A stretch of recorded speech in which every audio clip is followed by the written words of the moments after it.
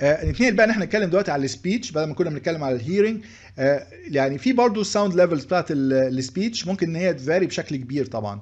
لو واحد إن هو بي بيتكلم بصوت واطي غير مختلف بيتكلم بصوت عالي غير لما بيعمل whispering whispering يعني كأنه بيوشوش حد. فبنتكلم على حاجات مثلا بالنسبة في كذا measure المفروض إن هم موجودين. للكلام ده ممكن إحنا ناخد واحد فيهم ونقدر نعبر بيه عن الإيه؟ عن ال level ده بيساوي كام. فنلاقي في اختلافات كبيرة الحقيقة. لو إحنا خدنا أي واحد من ال measures دي زي مثلا ال peak instantaneous pressure مثلا هنلاقي في ال whisper 70 ممكن يوصل في ال shouting يوصل ل 110 فرق كبير جدا. فرق يعني 40 ديسيبل. فرق 40 ديسيبل يعني 100 مرة في ال intensity level okay؟ فطبعا فرق كبير جدا جدا. فطبعا في variations كبيرة الحقيقة جدا بين الايه بين ال بين ال modes المختلفة في ال في ال في ال speech وبعضيها في ال في ال في ال level بتاع ال speech طبعا الكلام ده مفيد في إيه؟ مفيد إن هو إحنا دلوقتي لو بنتكلم على إن إحنا عايزين نطلع audible alarm يعني ممكن يبقى في عندي آه، مثلا إن المكنة تديني مثلا message محددة أو إن مثلا المكنة بتاعتي دي بيبقى فيها text to speech مثلا بحيث إن هي تطلع لي ال message ما هياش بشكل tone لأ بشكل فعلا كلام آه، يعني speech يعني message محددة يعني. فبرضه إحنا عايزين نطلعها في أنهي level بالظبط. آه، نفس الكلام بالظبط لو إحنا بنتكلم على ال levels أو ال distributions بتاعة ال speaking volumes on the average بتاع الناس اللي بتتكلم في التليفون.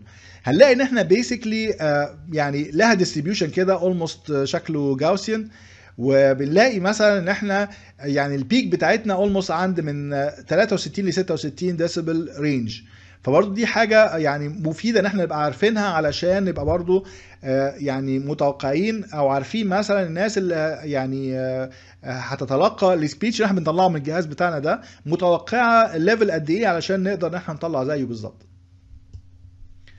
طبعا آه، لازم يبقى كلنا فاهمين ال speech ده complicated time varying آه، signal والحقيقة بيخليها آه، في منتهى الصعوبة إنها تقاس. وممكن إن إحنا عامة نقسمها لمجموعة من ال frequency bands ونبتدي بعد كده نفكر في كل واحدة من ال frequency bands دي يبقى ال intensity بتاعتها كام؟ لأن هي فعلا كلها على بعضيها كده معقدة يعني مش مش بتكلم بس على ال intensity بتاعت حاجة ب frequency معينة لأ ده أنا عندي frequencies كتيرة وكل frequency بيبقى لها certain intensity مختلف عن الثانية فعامة لقينا إن إحنا لو إحنا بنبص على ال speech بتاع ال males لقينا إن ال average frequency بتاعتنا بتاعت ال speech بتبقى حوالي 128 هرتز في حين إنها بالنسبة لل females بتبقى حوالي 256 هرتز فبنتكلم إن إحنا طبعا ده يعني طبعا يعني ده حاجة متوقعة لأن إحنا عندنا آه، طبعا ال ال الأصوات النسائية بتبقى طبعا أرفع شوية من الأصوات الرجالية فطبعا ده بيبقى واضح جدا في ال frequency range دوت.